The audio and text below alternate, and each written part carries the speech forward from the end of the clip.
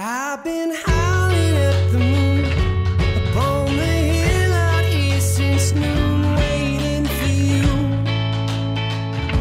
Our Not a planet. name is not a planet. I write every song. is the So truth. do I. We all write the songs. No, I'm just kidding. Nathan writes the songs. is amazing the kind of transfer of energy that goes on uh, between performers and an audience. Like I'm like a volcano in a Tupperware jar that you have to burp every now and then just so it doesn't explode, you know? Mhm. And then just rip the top off of the show. And let it explode at Yeah, the show. yeah.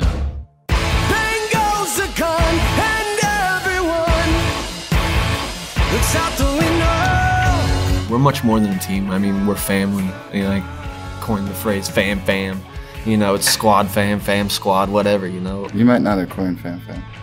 I just did Okay. again.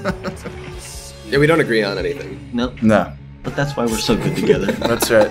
Opposites attract. you know, we have some great recordings, but come out and party with us and like see what it's about.